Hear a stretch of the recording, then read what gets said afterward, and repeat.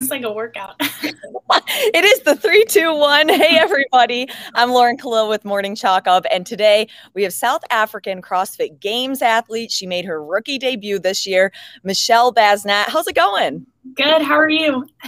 Good. Have you been enjoying some off time for the off season after a crazy game season? Yes, it's been uh, very nice to have some downtime for sure is there anything fun that you did? A little bit of traveling, see any friends to catch up um, with? No, nothing super crazy. I've, I've definitely caught up with friends. Um, you know, got out to eat at a few more restaurants and gotten in the sun a little bit more uh, to try to enjoy the last couple weeks of summer. Um, but nothing too wild. Just kind of got back into work slowly. yeah, with um uh, real estate, right? You're a realtor. I am. I do that kind of part time. I got my license during COVID, but I'm a full time CrossFit coach at my gym. So that's my my main job is coaching um, and personal training, and then the real estate I've just kind of picked up on the side. So since you got done with the games and had your off season and are a CrossFit coach, is it hard to you know, not jump into some of those workouts and get right back into it because you're coaching other athletes too? I I was ready to pull back quite a bit. Um, I actually got COVID right after the games, so um, oh I know, yeah. So I was out for you know two weeks or so um, out of the gym and just chilling in that sense. Um. And then slowly getting back into moving. I thought maybe like after those two weeks I'd be ready to move around and stuff, but my head was still kind of like I want a little bit longer of a break. So we we got back into some bodybuilding, some really light cardio, and only within uh, the last two weeks. So I think last week was my first week starting back on a true cycle. Um, and getting back into metcons and heavy lifting and things like that. So it's probably taken me a little bit longer than most, um, but we're mm-hmm. slowly kind of getting back into training. I was ready okay. to coach again, though. I do love coaching. Yeah, no, that's so awesome. But um, it sounds like I don't think that you got super sick from COVID. It was just mild symptoms for you. Yeah, it was pretty mild. I had like two rough days. Um, I think the weirdest part for me was losing my my taste and my smell. It also like killed my appetite. So you know, you come off this huge prep and you want to like eat and enjoy things and like go out and stuff. And I didn't want to do any of that. I didn't want to eat anything. I had no appetite. So it was like probably three weeks after the games, I was trying to like enjoy food and I was like, a little late for this, but um, yeah, I, I got eventually. COVID though. It wasn't it wasn't terrible. Okay, and now you're starting to get back into training, and that's been going well for you. Yeah, it's been good. Um, physically, I feel really good. Mentally, that's the thing that I'm kind of just slowly getting my myself back into. Um, you know, taking on just all the aspects of training the nutrition the mobility like you know it's it takes a lot of time in your day so i'm kind of slowly stacking one thing on top of the other. So, what does a training day look like now as you slowly get back into it versus like the amp up just a couple weeks or even a month out from the games? Um, it's definitely more relaxed. Um, you know, I I actually had to switch up my routine a little bit. I have I don't know if you can see it. There's like a my training board behind me here. Um, yeah, so I I started doing my sessions in the morning um, before the games. I was kind of doing them towards the afternoon, but I also coach in the afternoon. So I was kind of putting a bit of stress on my training to do it a bit faster. So I switched my routine, um, started hitting pieces in the morning and doing some PT mobility accessory work in the afternoon to kind of break it up and create a little less stress around it. Um, but really just trying to find that consistency consistency and find that schedule again, you know? Sure, because you don't want to go fully back into it and then burn out so early in the season. Yes. especially with this past season, um, it was so new with the format and the way things went. How were you able to kind of plan getting ready for each stage between the open, quarterfinals, semifinals, and then leading up to the games?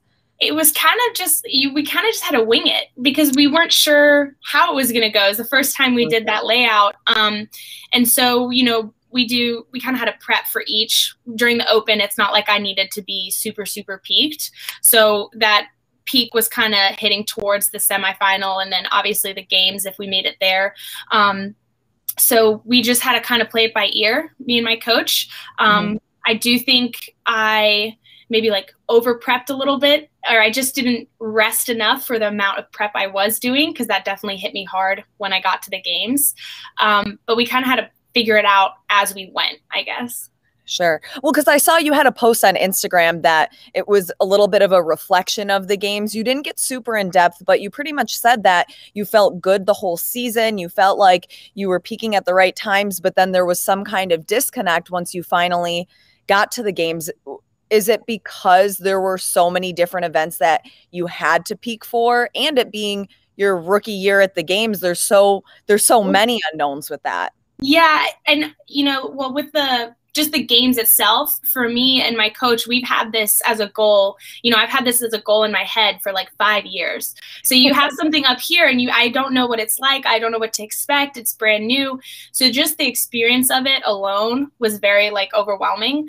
Um, but i i physically was prepped. I physically was very capable of doing all the movements at the games. Um, mentally, though, I burnt out pretty fast. By mm. day two, I was really struggling. Like, I mean, I woke up day two and it's like my head was in a completely different spot. So that was very eye opening. Um, it's it's just it's not something I really thought of, and it's not something that I had experienced before. But that meant mentality of like being able to push for that, not burning out too quickly, I see now is super important. So I think we prepped correctly. I think my programming was correct. You know, we dabbled on everything. I think maybe we overdid it towards the games a little bit at the end, or I just didn't rest enough to like combat the amount of training I was doing. And I think that's where the dis- disconnect happened. And that's what killed me day two. It's like, because I told my coach, I when we finished Friday night and like just kind of reflecting, I was still pretty upset. You know, nobody nobody wants to get cut. Um, no. But it was like I, I don't think I could have done another day just mentally. Like I was just so taxed. And um I kind of lost my train of thought. so if I think of it, I'll let you know. Sorry. That's okay. Um, but that's that's kind of how it went for me. So okay let's actually take a step back before the games um, you know, you got through the open, you got through quarterfinals and then semifinal. You trained in North Carolina at CrossFit Cornelius, but then the semifinal would be in your home country of South Africa. Yes. I yeah. mean, that had to be incredible. You've lived in the States for most of your life, I think, um, since you were a young child, but um, I imagine you still have family in South Africa that could come support you or that you could come catch up with. Yes, yeah, that was so awesome to experience.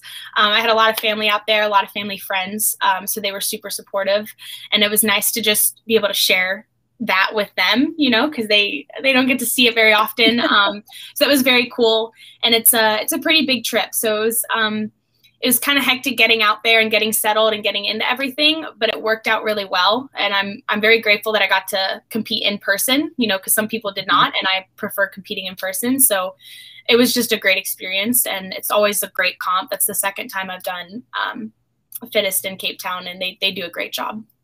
Do you think that having the support of your family and some relatives that maybe you haven't seen in a while um, kind of ignited the fire because there was only one ticket on the line to get to the games from the competition and you and you that is what got your ticket for your first year at the CrossFit Games. Mm-hmm. Yeah, it's there's definitely that like added pressure, but it's something that you try not to acknowledge in a sense, you know, because you're like, you know, it's there, you know that they're watching, and you know, you want to show them what you can do, but um, you really just have to focus on that that one workout at a time. That's just what's right in front of you, you know.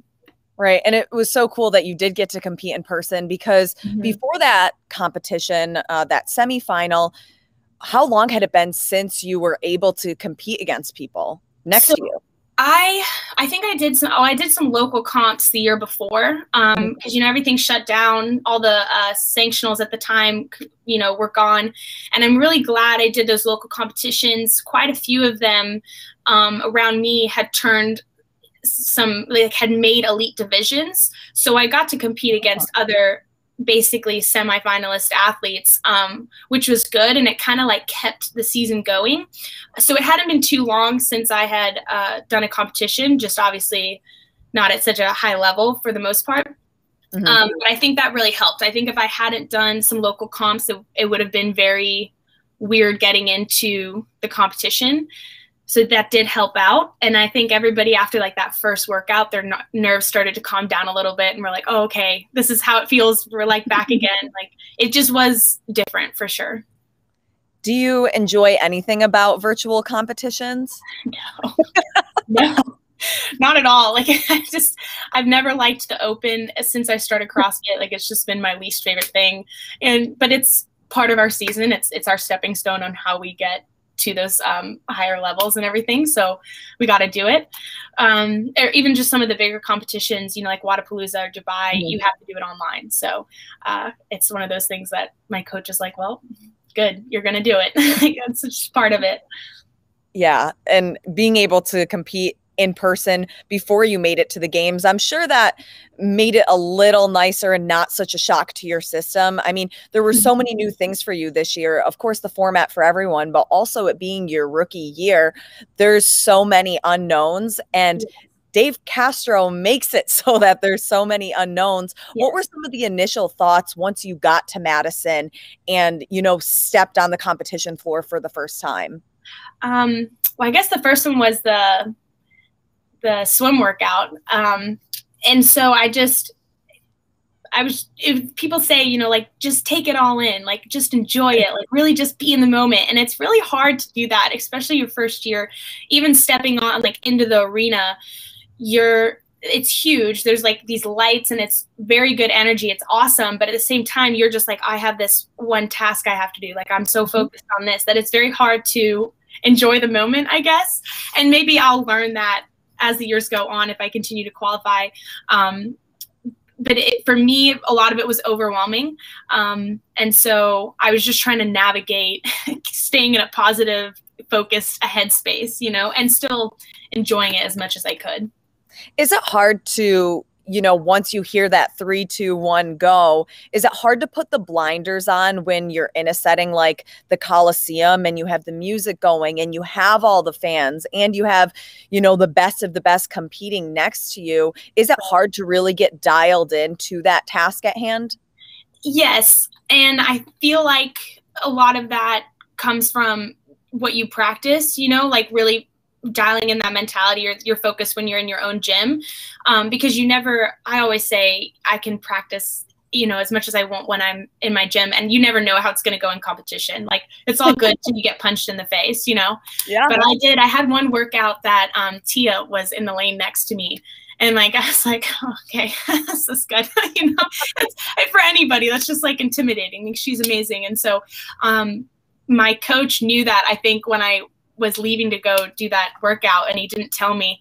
And so I was just like, you know, like fist bump to you you got it, girl. Like and go out there and pretend pretend like you're doing your own thing. Pretend like she's not there because it's it's all you can do. You have to, like people say, stay in your lane and, and focus, but it does get tricky at times for sure. Especially when things start to maybe not go your way. It's very easy to, you know, you have a game plan of what you want to do, and the minute that stops happening, okay, I either figure out another game plan or you know try to ignore those negative thoughts or like take on that pressure within that moment. Do you do a lot of mindset training during the season to get ready for moments like that? Um to a degree not so much. I i really just try to dial it in when i'm doing those workouts. And i mean my mindset in a sense kind of failed me towards the end of my competition this year. So maybe that's something that i need to implement a little bit more. Um, but I I don't have too many techniques that I really use. Like I'm not huge on reading or like meditating or anything like that. Um, and I know that does work for some athletes, but for me, like I try not to take on too many things because I work and train and like mm-hmm. there's so that I can only handle so much in my day, you know. Um, but it would probably be good to maybe find a thing or two um, to help me focus my mind a little bit better, or at least just keep it in check. I feel like I can focus well in a workout. It's just like I got my mind got a bit tired a little too fast. So yeah, I mean it's a long weekend. Uh, getting ready for all of that volume. Do you have like a weekend or a week where your coach will give you um, like upwards of 10 12 workouts to get done in a, a short amount of days or like a time frame? Yes. Yeah. We um we peaked like that that we would do a mock weekend almost. So we um change work schedules and everything so we could do like a Wednesday, Thursday off, Friday, Saturday, Sunday. Um, and those are those are long weekends. Those are heavy weekends and but that's what you want. You kind of want to simulate as much of that volume and pressure throughout the weekend as you can. Um, which again, I think we did a good job of. Um, but you just have to rest with the amount you push. You know, you you feel so good when you're at your peak. Sometimes you forget that like you also have to chill out a little bit. Yeah, I mean, as professional athletes, it's probably hard to just sit and be without doing anything sometimes. Right, exactly. Yeah, for sure. Um, I'm always curious, especially for the rookies, when you get to the games, you know, it's game face. Everybody has their routine and little things that they do to help them set themselves up for success for each event but um, did you build any friendships or connections or what is it like that people like me and the other spectators don't see uh, mm-hmm. that's not advertised on the coliseum floor or um, yeah. when you're out there working out i i definitely think you know the first time the group the men and women are all together it's just that like first awkward like you know nobody knows each other type of thing.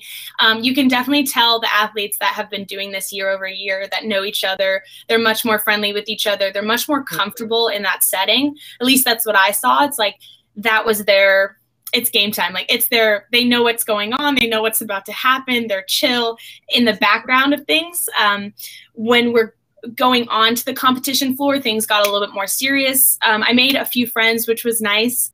And there were also moments where it was like nobody was talking to anybody, and the bus rides were, uh, you know, sitting by myself. so Aww.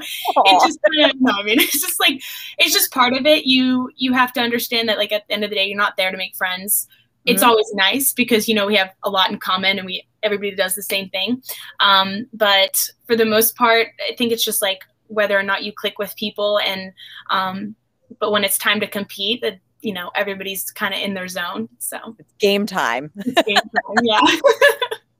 So. so fueling for each event i I mean, we've talked to several different athletes about, you know, how they get all of the calories in and how, you know, if you ask somebody who doesn't do CrossFit, or maybe even people who are newer to CrossFit, they think that you guys are eating around like 2000 calories when you perform. But I imagine to get through um, all of Dave Castro's workouts, you need more than just the, the standard 2000 calories. Um, how do you get all of those calories in throughout the day? And even, you know, you may not have a microwave to heat stuff up quick mm-hmm. or an mm-hmm. oven or a stove top. Um, how, how do you do it?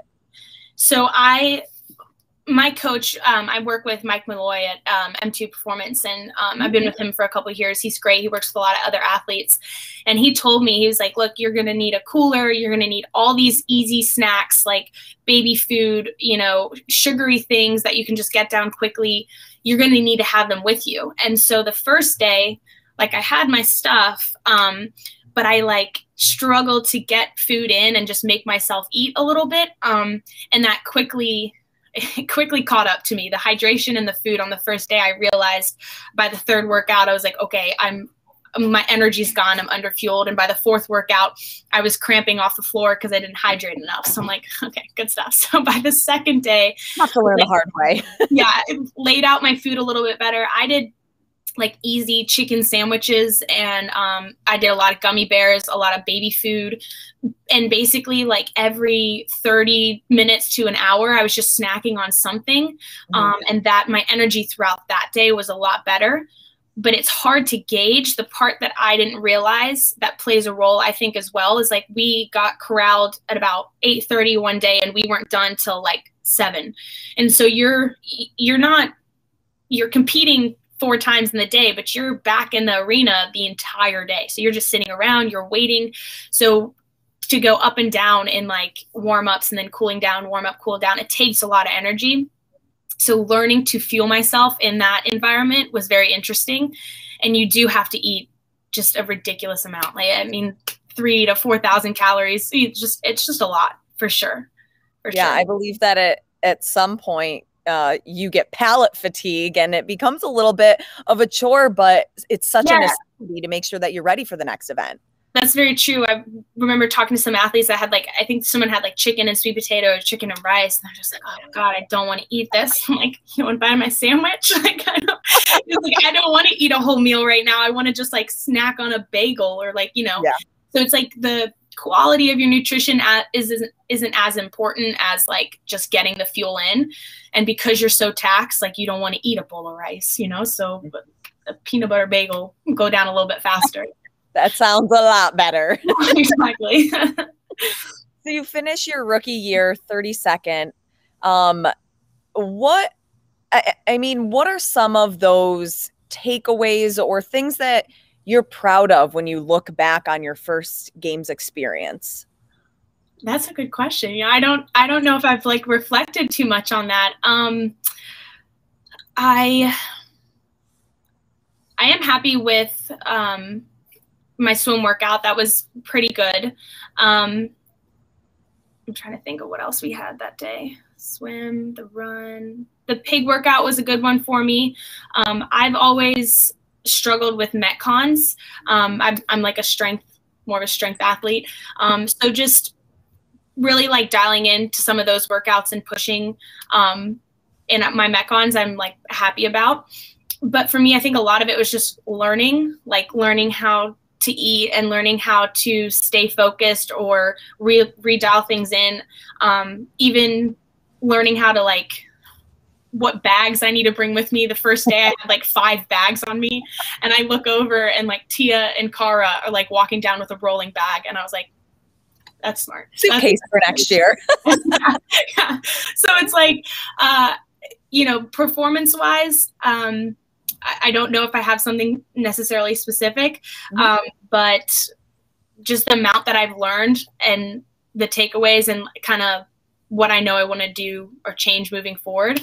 Um, I am happy that I have that because uh, it was it was a little bit of a bittersweet thing for me. The games, you know, I didn't execute or I didn't perform the way I wanted to, especially the second day. So it's like I'm a little still still a little salty about it.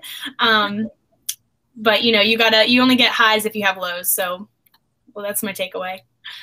Sure, and that I'm sure is going to fuel your next season. So, what does training look like as you get ready for? I can't believe it, but the Open is only five months away already.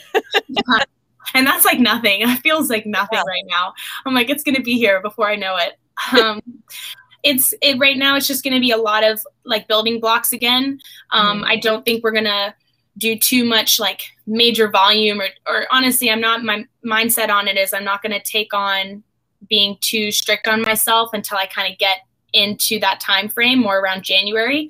Um, so consistency in my training my eating my sleeping sleep's a big thing for me that i've been kind of inconsistent with so it's something that i need to change um, moving forward. But right now we're two sessions a day uh, and just slowly, slowly building into things. Well, Michelle, we are so excited to see um, you and everything that you're going to do. Are there any off season uh, uh, events, CrossFit events that you're looking to be part of? Um, I would love to do the Dubai uh, Fitness Championship. I think that would be awesome. canceled.